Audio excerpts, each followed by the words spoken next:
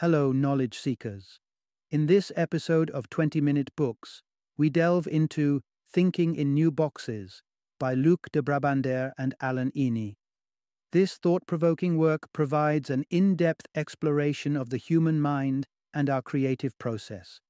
The authors skillfully equip readers with the tools to uncover, manipulate, and even create the boxes that organize our information, shape our perceptions, and ultimately drive innovation. Luc de Brabandere is a renowned research fellow and senior advisor at the Boston Consulting Group based in Paris. He is also a prolific writer with a dozen books under his belt, including the insightful work The Forgotten Half of Change. Alan Iny, on the other hand, is the leading specialist for creativity and scenario planning at the Boston Consulting Group in New York, holding an MBA from the prestigious Columbia Business School. Thinking in New Boxes is an indispensable guide for entrepreneurs, managers, engineers, and politicians looking to foster their creative thinking. Moreover, anyone with a burning desire to augment their creative capacity will find this book enlightening. Stay tuned as we distill the key lessons from this masterpiece in the next 20 minutes.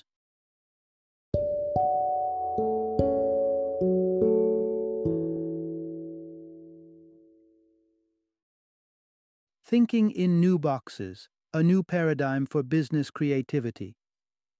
Introduction Become the master of your own thinking.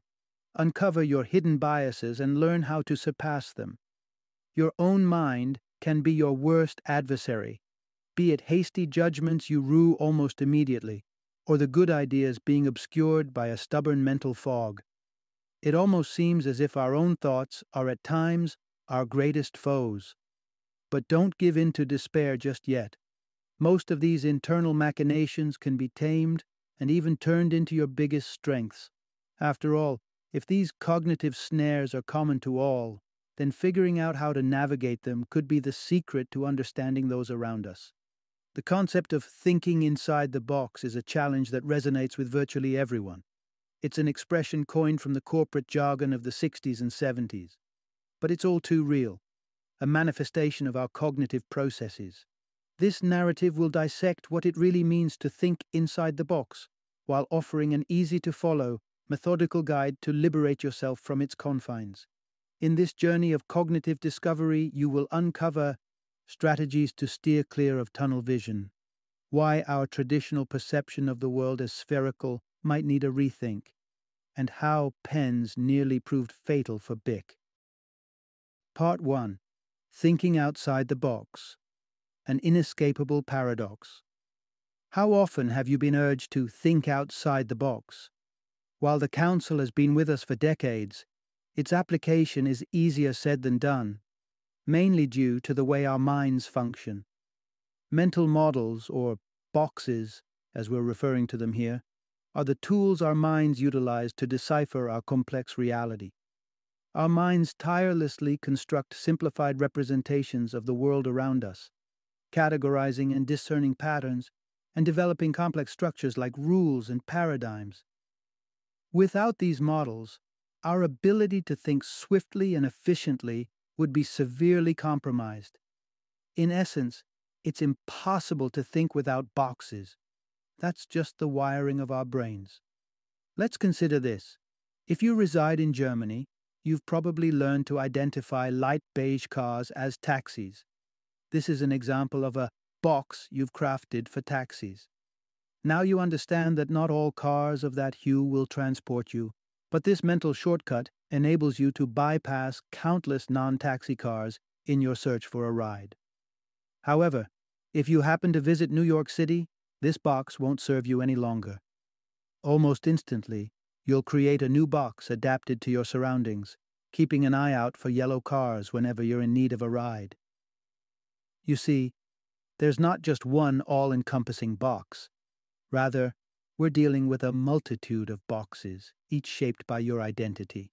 And in return, your identity is itself an intricate arrangement of boxes. You could identify as an array of roles, for instance, an IT professional, an Australian, a woman, and so on. Hence, there is an infinite number of boxes outside your particular worldview, Boxes are the very scaffolding of our cognitive processes. They're unavoidable. When you step out of one, you're simply stepping into another. Part 2 Breeding Ground for Groundbreaking Ideas. Embrace new boxes. If exiting one box simply implies finding oneself in another, then how is it possible to genuinely think outside the box? The reality is, you can't. Instead, innovation necessitates the creation of completely new boxes. If you don't cultivate new boxes, you expose yourself to the deleterious consequences of old boxes. Tunnel vision. Tunnel vision sets in when you overlook the fact that your personal perception of the world is merely an interpretation founded on a subjective slice of information. After all, it's your perception, nobody else's experience can substitute it. What you perceive is not an unambiguous reality, nor is it necessarily the most accurate interpretation of our intricate reality. Believing that your box is the correct one circumscribes the universe of conceivable thoughts. Consider, for instance, how long humanity clung to the belief that the earth was flat, despite the evidence to the contrary. In reality, our planet is a sphere. In 2011, the notion of Earth as a round globe was further refined towards a model resembling a potato, and this conception too will inevitably evolve as forces such as gravity and rotation continue to shape our planet. This tunnel vision poses a grave threat to creative thinking. Take the case of BIC, a company that, until the 1970s, primarily identified itself as a producer of plastic ballpoint pens. Such a narrow self definition inherently restricted their innovation potential to differing colors and designs. However, if we can overcome tunnel vision, we can construct new boxes that open up a myriad of exciting possibilities. The transition from viewing the Earth as flat to recognizing it as a globe dispelled the fear of falling off the Earth's edge, sparking courage in people to voyage around the world and discover new lands. Likewise, when BIC broadened its self perception from being merely a pen producer to a plastic products manufacturer, it was able to venture into diverse product categories such as lighters, razors, and even mobile phones. So, what's the secret to breaking free from traditional thought patterns and creating these new boxes? Stay tuned to uncover the answer. Part 3 the first step distrust your instinctive reactions. If your train of thought was an actual locomotive, would you be merely a passenger or the driver? Grasping the concept of boxes and the constraints they impose on our thinking paves the way for us to move into the driver's seat and seize control. The journey begins with the simple realization that it's comforting to stick with the familiar. Our minds instinctively adhere to the existing array of boxes, subconsciously assimilating information that aligns with our worldviews and discarding information that seems contradictory. This makes shifting our perspectives a daunting task. Take, for instance, the case of Dick Fosbury, who, in 1968, established a new Olympic record for high jump. His unorthodox technique of jumping backward sparked ridicule, despite the fact that it enabled him to jump higher than anyone else. People were merely resistant to his method because it felt wrong to them. Surprise, surprise, since 1976, no one has clinched a gold medal in high jump without utilizing what's now known as the Fosbury flop. Secondly, it's important to recognize that the human mind has a faulty default setting we're routinely deceived by a phenomenon known as cognitive bias, the subconscious programming that prompts us to prioritize intuitive simplicity over objective scrutiny. This results in logical blunders and frequent misestimation of probability, value, or risk. To put this into perspective, envision a frozen pond in winter. Most people would feel safer ice skating on the pond if they observe others doing the same. However, their intuition couldn't be more misguided. It's actually less risky to skate alone, without the added weight. Moreover, as revealed by studies in behavioral economics, cognitive biases also influence our financial and business decisions. For instance, Investors often continue to cling onto stocks even after their value dips below the purchasing price, rather than acknowledging the loss and severing ties with a losing investment.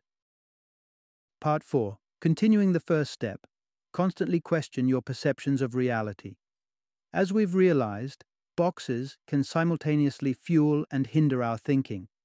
But the moment you become aware that our individual and collective interpretations of the world, that is, our boxes, are inherently incomplete, you're well equipped to scrutinize your own boxes. Recognizing and questioning your boxes is the gateway to crafting new ones. Proactively seek answers from yourself and your peers about critical values, goals, aspirations, and fears in order to pinpoint the boxes you're entrapped in and identify the beliefs and assumptions that could be impeding your progress. It's not about categorizing boxes as right or wrong. Instead, the question you need to be asking yourself is Will this box retain its utility tomorrow? For several decades, it was a widely accepted notion that video games primarily catered to teenage boys and young men. This assumption went unchallenged. After all, why meddle with a successful formula? Well, the reason is simple. A gaming company could potentially triple its customer base by extending its focus to other demographic groups, including women, the elderly, and even toddlers. But unless gaming companies acknowledge the existence of this box, they won't be able to surpass its boundaries. Even when innovators succeed in creating new boxes, these novel paradigms are not designed to stand the test of time. Let's say a gaming company has managed to successfully engage new target audiences such as women and young children. Well done. However, in the interim, the company's most faithful clientele, teenage boys, have evolved. As they grow up, their gaming preferences also change. So, what games are they interested in playing now? Responding to this question calls for a fresh box. Remember, even the most groundbreaking idea is eventually destined for obsolescence. No matter how meticulous or deliberate your approach in shaping your box is, you will invariably find yourself returning to the drawing board to start from scratch. The world is in a constant state of flux, and we need to persistently modify our mental models to either keep up with or, ideally, set the pace of change. Part 5, Step 2 equip yourself with new insights. The notion that groundbreaking innovations are the brainchild of brilliant minds drawing from their inner wellspring of creativity is appealing, but largely a myth. As we've discussed, if we let our minds function on cruise control, it's unlikely we'll produce any transformative ideas. Hence, we must commit ourselves to the task of gathering information to shake off the shackles imposed by our old boxes. The authors highlight areas where we need to source information the global environment encompassing society, economics, science, and more, your specific industry or domain, including customers, competitors, and the like, and your organization or context, which includes aspects such as products and structure.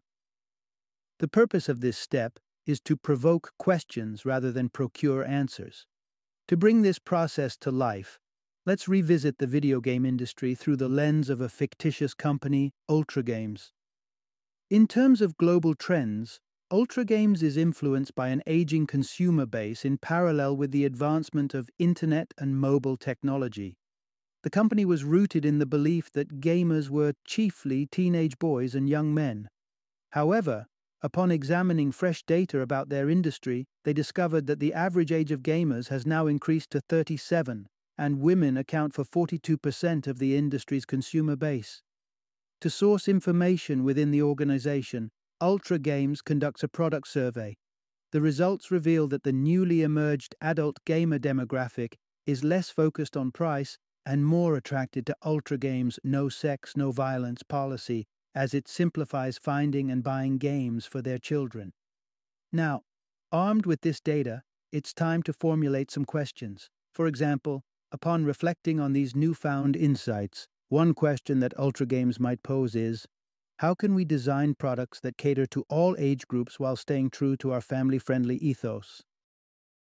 Part 6 Steps 3 and 4 Formulate and evaluate hypotheses.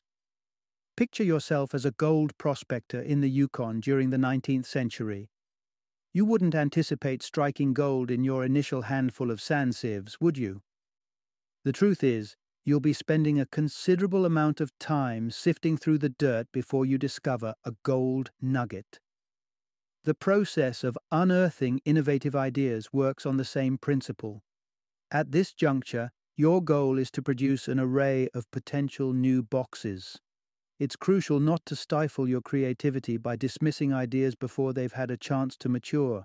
Approach this exercise with the belief that there's no such thing as a bad idea and motivate your team to examine the problem from every conceivable perspective, no matter how absurd or improbable it may seem. For instance, when NASA was devising a way to land on foreign planets with minimum pollution from Earth based chemicals, they certainly didn't foresee their multi billion dollar spacecraft landing on the planet by bouncing within a shell composed of airbags. And yet, that's precisely how Pathfinder made its historic landing on Mars in 1997. Once you've accumulated a substantial array of ideas, it's time to scrutinize them using distinct evaluation parameters. Your judgments should never rely solely on instinct, but should be guided by a methodology that mitigates cognitive biases that restrict your imagination. So, what criteria should you use? Certain factors like budget limitations, technological viability, or regulatory requirements are universally applicable. Others are more specific, such as your brand image, your areas of specialization, the intended timeline, and so on. Take Ultra Games, for instance. They might conclude that developing separate games for each new market segment is financially prohibitive. They need a concept that aligns with their financial criteria and also enhances their family friendly corporate identity, like educational games designed for all age groups. You may need to cycle through these two steps multiple times before you strike gold. Once you do, remember, even your successful ideas deserve skepticism. Now that you're equipped with the tools to liberate yourself from restrictive boxes, our final section will guide you on how to generate the most creative ideas for your business. Part 7 The grander the box, the greater the potential. Picture your business as a tower of cards. If you aim to renovate, your mental conditioning confines you to tinkering only with the top levels, fearing that the entire edifice might crumble. This limits the possibility of profound transformation, as you're unable to shake the foundations upon which your enterprise was constructed. However, it's when you challenge the most basic elements of your business that you tap into the highest creative potential. Reflect on the turning point for BIC. They could have constructed more superficial boxes by, say, fabricating a variety of pens instead of just ballpoint, or even venturing into plastic office supplies. But they opted for an even grander box, any throwaway plastic item. Several other companies have made similarly dramatic changes by constructing new, expansive boxes. Nintendo, for example, transitioned from manufacturing playing cards to crafting video consoles while LG metamorphosed from an industrial chemical manufacturer into a producer of high tech appliances. Venturing to fundamentally shift your perception triggers a domino effect of innovative ideas, and you'll realize that each box is nestled within another box within another box. For instance, BIC's expansive new box encompasses all the previously mentioned boxes, pens, and plastic office supplies, including its original product. Once they fashioned a new grand box that established their company's identity, they could fill it with medium sized boxes, which could then be stuffed with smaller ones, thus fostering a myriad of new products. Similarly, Nintendo's reimagining of its identity opened the gates to ventures like video game production, merchandising, and even film production. Thinking on a large scale isn't straightforward when it comes to crafting new boxes. However, if you can construct boxes expansive enough, you'll dramatically widen your horizon of opportunities. Part 8 Prepare for an unpredictable future. What sets apart companies that are caught off guard by transformative changes from those that benefit from or even lead them? In essence, their capacity to switch boxes in real time. Achieving long term success in business necessitates maintaining an open mind towards numerous potential futures. Be wary of the ever present pitfall of tunnel vision. We often plan for a single vision of the future, one that is likely rooted in our current understanding. Essentially, we employ predictive thinking in preparing for the future. In contrast, we should utilize prospective thinking, which poses questions like what might happen? What could I influence to happen? By visualizing a range of possible scenarios, your business can remain adaptable and well prepared with not just a plan A, but also contingency plans B and C. There are two types of reasoning available when plotting a course for the future deduction and induction. Deduction involves fitting information into an existing box. For example, you might pose the question What are the most significant trends that will impact our industry? The drawback with this mode of reasoning is that the scope of potential responses is restricted, concentrating too heavily on current knowledge. In contrast, induction operates in reverse. You gather information and seek an appropriate box for it. Inductive thinking encourages creativity by breaking free from common associations and asks questions that yield an endless array of answers. For instance, you could ask, how could scenario XY emerge as the most impactful trend affecting our industry in the future? This approach allows you to uncover opportunities that other competitors simply haven't considered, that is, truly innovative approaches. Take, for example, executives in the high quality glass industry would probably concur that devising screens for mobile communication devices would be one of the most significant market innovations in the near future. But wouldn't it be wiser to initiate a technological revolution while the competition scrambles for a share of that pie? How about creating materials that render glass redundant? Or something completely novel? Final summary. The crux of this book is our ability to think creatively is often hampered by our restricted viewpoint. But overcoming this limitation is crucial if we want to foster innovation. To trigger creative thinking, we need to relentlessly question our worldviews, the boxes that encase our perception of what's plausible, and use strategies that prevent our subconscious from thwarting our efforts.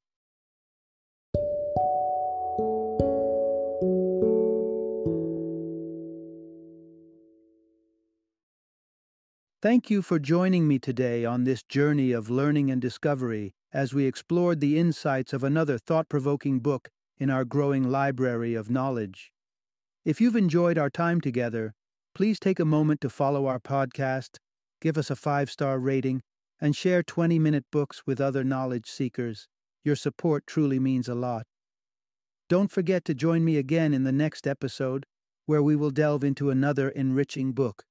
Until then, Happy reading and happy listening.